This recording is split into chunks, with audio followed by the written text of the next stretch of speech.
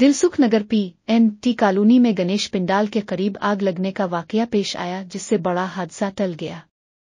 दिलसुख नगर के इस इलाके में हर साल की तरह इस बार भी बड़े जोश व खरूश से गणेश चित्रोती के त्यौहार का एहतमाम किया जा रहा था।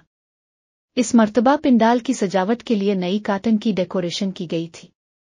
सब कुछ मुकम्मल हो चुका था कि मैन स्विच ऑन करते ही अचानक शॉर्ट सर्किट हो गया, जिसके नतीजे में बिजली के झटके से पिंडाल में आग लग गई और सजावट जलकर राख हो गई।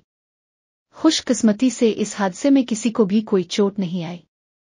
वाकया से पाँच मिनट कबल पिंडाल के करीब खेल रहे तमाम बच्चे अपने घरों को वापस जा चुके थे।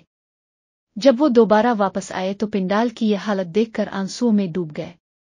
बच्चों ने यह मंजर देखकर अफसोस और गम का इजहार किया। thank you